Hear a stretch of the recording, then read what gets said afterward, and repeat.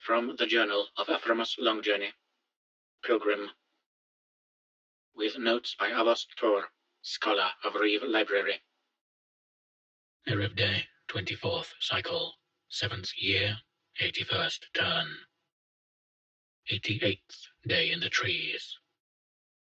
It is difficult to travel away from the path. We must go around trees, bushes, and other obstacles. There are hills and gullies we must climb, rocks that block the way. Game trails help at times, but they only go so far and twist in strange directions. Note, it's recommended that visitors to the woods stay on the road when at all possible. While many naturalists and explorers have made great discoveries off the beaten path, the dangers of encountering vicious predators, ancient Urses, or traveling salesmen increase dramatically. This was to be expected. What I did not expect was how out of place I feel. The path was often dangerous and strange, but it was a place for travelers.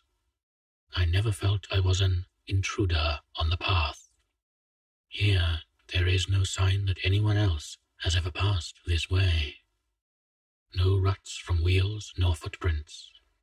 No wear on the ground. We are alone with the beasts and the plants. Despite the walls of trees and undergrowth, I feel very exposed. If we are attacked, we will find it difficult to run. A predator could be at arm's length, and I would not know. That is not to say we are shaking in fear at every shadow.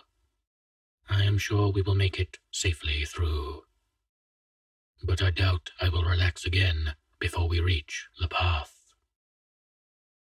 Torn doesn't share my wariness. While he pays attention to our surroundings, he seems almost more at ease here than he did on the path. He whistles, hums, and sings a little. I should tell him not to sing. We do not know what it will draw to us, yet I cannot bring myself to make him stop.